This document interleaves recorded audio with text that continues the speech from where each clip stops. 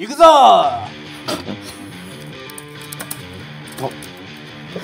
え？あー。いいむずない？これ。いいんだ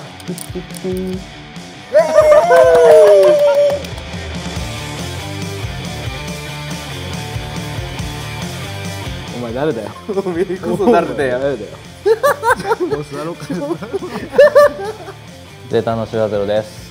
ゼータのバースですゼータじゃない方の竹 J です。どういうこと？TFL のアンセムです。こういう CT リーグで、まあ、日本代表としてプレーすることはどんな意味がありますか？島田さんどう思います？特にない。特にない。俺もない。なんもない。あそれまあでもめっちゃ嬉しいことではあるじゃないですか。何？ある？何？ない。日本の誇りも何もないらしいですね。ゼータは。俺たちあるもんねだって。ねいやない言うとったよ。ない言うとっまあ嬉しいことでもあり頑張らなきゃいけないなとはね。思うよね。頑張らなきゃいけないなしかないよね。うんそうだね。多分人変更した方がいいかもしれない。ライバル意識みたいなのってありますか？どうだろうな。難しいところではあるな。ライバルだと思ってないし俺は。あそうなんだ。ライバルと思えないし。なんで？いや俺やっぱでっかい夢を持ちたいからさ。どんな俺のライバル船時だよ。あかっこいいでしょすごい。だからゼータごときではライバルとは思えないかなちょっもう病床だよ。と夢はでかくね。まあ夢はでっかく持った方がいいからね、やっぱり。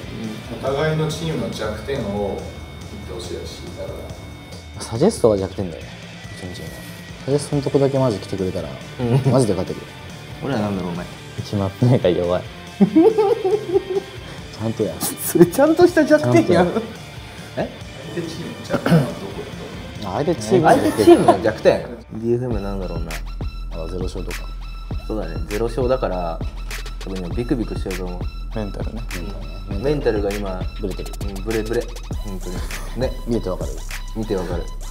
すげえそれがサブやな。さすがサブ。だからもうしてるもんここ。ジェットは一番上手い人。それだねデップゲップ。ソルダンオペレーターが一番上手い人。ラズ。ゲップ。ラスラズさん。一番僕が上手い人。俺。シュガー。シュガー。シュガーゼロさん。お前らさ。俺らうまいやついないぞ。シュガーゼロさんがうまいに決まっとるやん。あセンチネルが上手い人。サジェスト。センチネルでしょサジェスト。ゲップ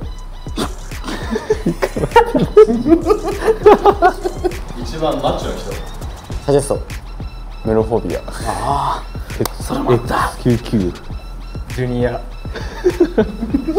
シュトークしながら最後に一言お互いにメッセージ勝つことないじゃん。いや勝つよ。だってゼロ勝じゃん。勝ってないよ。ゼロ勝じゃん。2勝でしょだって、2勝もしてんだ。しぼしゼロ 勝でしょゼロだ。よどっから自信が出てきた？自信しかないよね一応ね、自信しかない。うんでも自信は大事ですな。自信は大事。応援してくれてるファンは楽しみに待っといて。どうぞ。ゼータファイティング。